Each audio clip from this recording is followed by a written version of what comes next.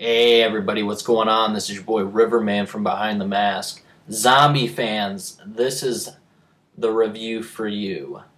Um, today I'm going to be talking a little bit about a Super 8 film called Dead Next Door.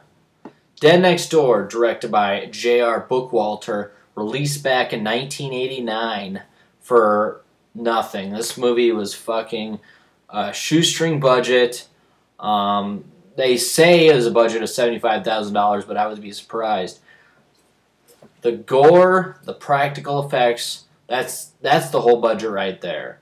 Other than that, the actors, the actors are horrible in this. The the writing's horrible in this. It was shot on a Super 8 camera, which is uh, you know you can you can pick one up for cheap. You can pick one up at your local pawn shop and shoot on it.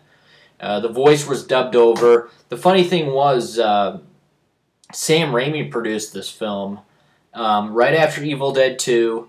He threw some money into this film. I think it was probably because of the practical effects, and he wanted to get his name attached to it because he was like, "Whoa!" I mean, this this movie has something to it.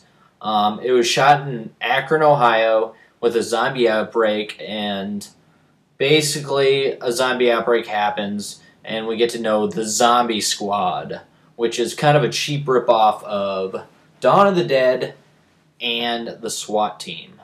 So basically, this zombie squad goes around, you know, trying to eliminate zombies, protect people, uh, what have you, and uh, they come to run into a uh, kind of a religious cult and a crazy, crazy fucking preacher um, named Reverend Jones.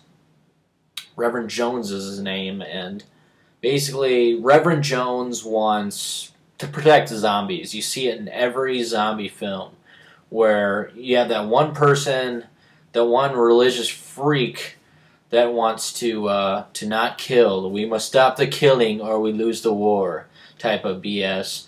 But um, yeah, Rev- Reverend Jones, of course, you know, tries to get in the way of the zombie squad and uh, their whatever they got to do. But um, I would recommend this film if you're into zombie films.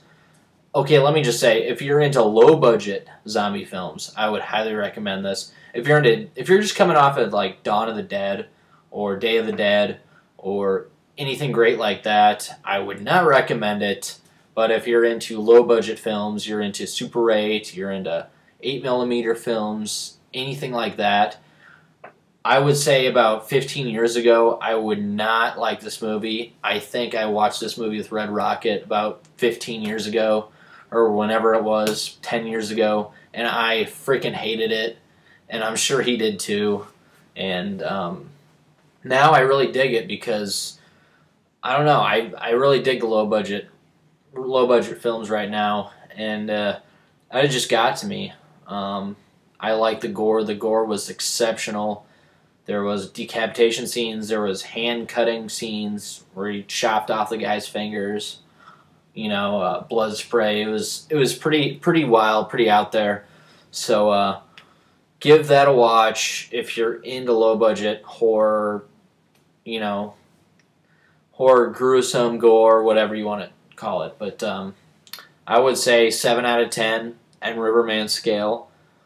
But uh, yeah, like I was saying, if you're coming off of Dawn of the Dead or you're huge, uh, huge mainstream zombie zombie freaks, I would stay away from it. But um, yeah, you can pick this movie up on. Uh, it was an Anchor Bay release back in 2005, and uh, I'll just throw it up there for you. Yeah, Okay, and it has a deleted scenes. It has a 20 minute featurette, uh, audio commentary with J.R. Bookwalter, few actors, uh, storyboards, music videos. Um, it's definitely worth the pickup if you're into it. Uh, it's only it goes for about six to six to ten dollars on Amazon or wherever you want to find it. I found it at Best Buy, but I'm sure nowadays you won't be able to find it at Best Buy because Best Buy now sucks unless you go online and buy movies off of BestBuy.com. So, uh, yeah, 7 out of 10. Zombie fans, check it out. This is Riverman from Behind the Mask. Presents. Check out the new website. The website should be coming soon. Few weeks, we'll have it up. If not, go to the podcast. Go to Behind the Mask blogspot, Behind the Mask podcast.blogspot.com. Sorry, guys. Um, Behind the Mask podcast.blogspot.com. There you go again. All right, we'll talk to you guys later. This is Riverman from Behind the Mask signing out. Yeah.